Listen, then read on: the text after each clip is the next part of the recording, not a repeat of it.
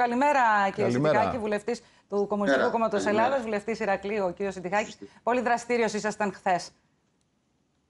Ε, νομίζω ότι στα πλαίσια του καταμέριστη της κοινοβουλευτικής ομάδας έτυχε χθε και ήμουν εγώ τις περισσότερες. Οπότε θα σας, θα σας ρωτάγαμε για τον, ε, στην αρχή για τον αντικατάστατο ρόλο και των εργαζομένων στην αντιμετώπιση της ε, πανδημίας και ειδικά στο νοσηλευτικό προσωπικό.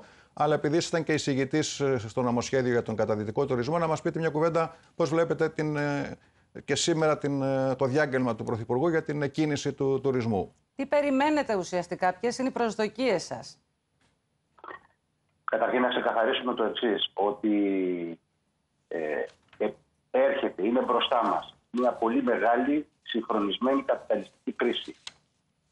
Και θυμάστε όλο το προηγούμενο διάστημα, παρόλο που μας έλεγαν ότι βγήκαμε από την δεκαετή κρίση, την προηγούμενη, και μάλιστα σε μια κανονικότητα όπου τα μνημόνια καταργούνται, ε, δεν πέρασε πολύ μεγάλο χρονικό διάστημα και ξαναμπαίνουμε σε μια νέα καπιταλιστική κρίση. Φυσικά η αιτία δεν είναι ο κορονοϊός. Για να μην γελιόμαστε, απλώς ο κορονοϊός επιταχύνει αυτή τη διαδικασία. Και φυσικά όλοι ψάχνονται τώρα να δούνε πώς θα αντιμετωπιστεί αυτή η νέα καπιταλιστική κρίση εν μέσω αυτής της πανδημίας και η κυβέρνηση, αλλά θα έλεγα σε μια ε, συντεταγμένη πορεία και οι άλλες πολιτικές δυνάμεις εκτός του Κομμουνιστικού Κόμματος μιλάνε για ε, επανεκκίνηση της οικονομίας που τη χαρακτηρίζουν ως κάτι ως εθνική υπόθεση με την έννοια ότι πρέπει να συμβάλλουν όλοι σε αυτή την επανεκκίνηση. Εμείς διαφωνούμε ριζικά. Έχουμε μια διαφορετική αντίληψη γι' αυτό. Ξέρετε, τα προηγούμενα 10 χρόνια αυτός που πλήρωσε το τίμημα της κρίσης ήταν ο εργαζόμενος άνθρωπος ε, και σήμερα πάλι καλείται να βάλει το χέρι στην τσέπη στο όνομα αυτής της εθνικής παστρατιάς για να βγάλει ξανά τη χώρα από την κρίση. Είναι όμως ναυτιλία, ναυτιλία και τουρισμός είναι τα βαριά μας χαρτιά. Ξέρετε, ε, ε, ε, χωράει πάρα πολύ κουβέντα κατά πόσο αυτό το μοντέλο με την μονοκαλλιέργεια του τουρισμού, ε, ε, πώς το χαρακτηρίζουν την ε, ναυαρχίδα της οικονομίας ο τουρισμός, ξέρετε, έχει καταρρεύσει. Και έχει καταρρεύσει στην κυριολεξία. Διότι δεν μπορεί μια χώρα να στηρίζεται αποκλειστικά σε έναν τομέα της οικονομίας που είναι ο τουρισμός, είναι σημαντικός. Έτσι κι αλλιώς ως χώρα πρέπει να αξιοποιήσουμε τον τουρισμό και λόγω, αν θέλετε, του, ε, των φυσικών ε, πλεονεκτημάτων που έχει η χώρα μας. Αλλά δεν μπορείς από τη μία να λες επιλέγω τουρισμό, αλλά την ίδια στιγμή αποβιομηχανοποιώ τη χώρα. Πέρα όμως από το μοντέλο ανάπτυξης, κύριε Συντιχάκη, πέρα από το μοντέλο ανάπτυξης όμως, επειδή μπαίνουμε στην τουριστική περίοδο, δηλαδή αν μπορέσουμε να περισσώσουμε δύο ή τρεις ε, μήνες της, ε, τη σεζόν της ε, θερινής, θα πρέπει να δούμε πώς θα αντιμετωπίσουμε αυτό το πρόβλημα καταρχήν. Για να συγκρατηθεί τέλος πάντων η ύφεση στο πλαίσιο που μπορεί να συγκρατηθεί και όσες θέσεις εργασίας μπορούν να διασωθούν. Και επειδή είστε κοντά στον κόσμο και επειδή προέρχεστε από ένα μεγάλο νησί, είστε από την Κρήτη, τι σας λένε ξενοδοχοϊπάλληλοι και ξενοδόχοι; Γιατί αν δεν δουλέψει στο ξενοδοχείο και ο υπάλληλος δεν θα έχει δουλειά. Αυτό ήθελα να σας πω προηγουμένως για να πω στην ουσία των ερωτημάτων σας. Ότι τα προηγούμενα 10 χρόνια αυτοί που δεν υπέστησαν τη ζημιά από την κρίση ήταν οι μεγαλοξενοδόχοι. Ήταν οι tour operator, ήταν οι μεγάλοι επιχειρηματικοί όμιλοι. Μάλιστα άνθησε ο τουρισμός.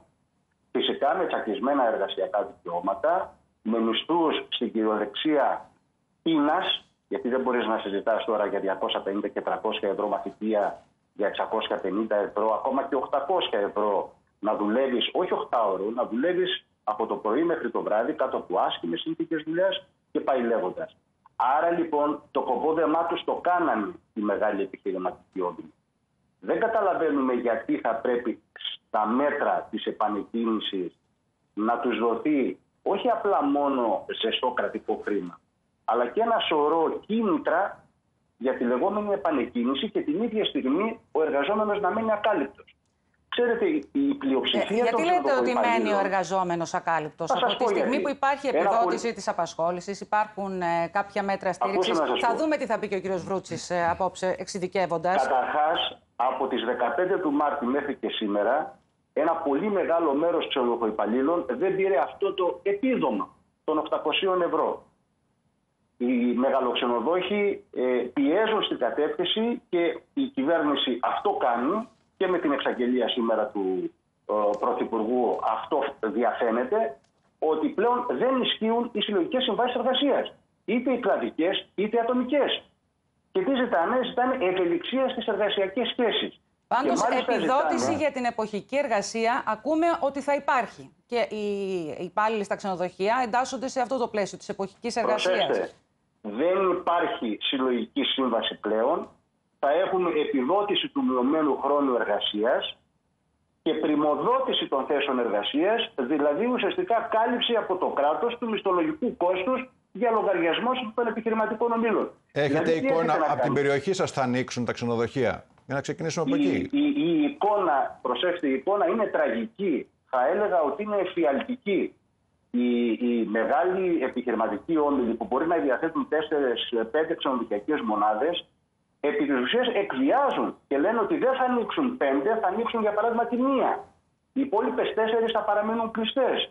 Ή για να ανοίξουμε και τις 5, σημαίνει ότι πρέπει να μας δώσετε κίνητρα. Ποια είναι αυτά τα κίνητρα, είναι ζεστό κρατικό χρήμα όπως σας είπα και είναι έτοιμο το πακέτο των 7 δισεκατομμυρίων ε, προκειμένου να ενισχυθεί αυτό το τουριστικό πακέτο, δηλαδή να ενισχυθούν οι μεγάλοι επιχειρηματικοί όμιλοι και επίσης να επιδοτήσουν τους επιχειρηματίες για τις θέσεις εργασίας οι οποίες δεν είναι διασφαλισμένες. Δηλαδή θα τους διασφαλίσει ένα επιπλέον επίδομα πιθανά τον Ιούνιο, από εκεί και μετά οι εργαζόμενοι μένουν ακάλυπτοι. Μπορείτε να μου πείτε, παρόλο που είναι εποχιακό αυτό το επάγγελμα, πώς θα επιβιώσει ο ξενοδοχοϊπάλληλος, θα επιβιώσει με τα ψίχουλα, με τα ψευτοεπιδόματα. Όχι. Αυτό που θα έπρεπε να γίνει είναι να ισχύσουν στο ακέραιο οι συλλογικές συμβάσεις εργασίας, είτε είναι κλαδικές είτε είναι τοπικές κλαδικές συμβάσεις, να διασφαλιστούν οι μισθοί και τα εργασιακά δικαιώματα αυτών των εργαζομένων,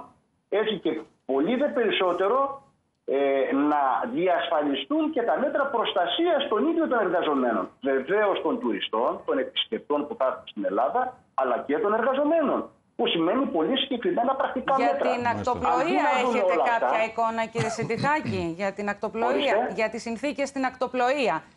Και για τα δρομολόγια, τα... γιατί άρχισε, άνοιξε και η γραμμή της Κρήτης, η πρώτη που άνοιξε και η ακτοπλοεία, τη Δευτέρα. Και οι αερομεταφορές προφανώς αντιμετωπίζουν ζητήματα. Έτσι, γιατί με όλα αυτά τα έκτακτα μέτρα και η επιβολή μέτρων που έχει γίνει όχι μόνο στη χώρα μας παγκόσμια, προφανώς έχουν υποστεί την σχετική ζημιά. Αλλά επαναλαμβάνω, δεν μπορεί να είναι ε, δύο μέτρα και δύο σταθμά. Δηλαδή να ικανοποιούν τους επιχειρηματικούς ομίλους στο όνομα της ρευστότητας και την ίδια στιγμή αυτή, αυτή η ρευστότητα να μην ακουμπάει τα δικαιώματα των εργαζομένων. Δηλαδή δεν κατάλαβα γιατί θα πρέπει να ενισχυθεί ο μεγάλος επιχειρηματικός όμιλος που έχει κάνει το κοπόδεμά του και μάλιστα χοντρό κοπόδεμα, διότι όλα έσα έβγαλαν την προηγούμενη δεκαετία, τα επένδυσαν, έκαναν επεκτάσεις, επένδυσαν σε άλλες δραστηριότητες. Άρα λοιπόν. Ξέρετε, ε, αναμένεται και σχέδιο για την Aegean. Και επειδή διάβαζα μια συνέντευξη του κυρίου Βασιλάκη, ο οποίος έλεγε ότι εκεί που ήμασταν στο Ρετυρέ, φτάσαμε στο υπόγειο. Και οι μεγάλες επιχειρήσεις, θέλω να πω, που έχουν κάνει κάποιες επενδύσεις, έχουν προμηθευτεί και άλλα αεροσκάφη τα οποία καθυλώθηκαν. Φέρνω ένα παράδειγμα την Aegean.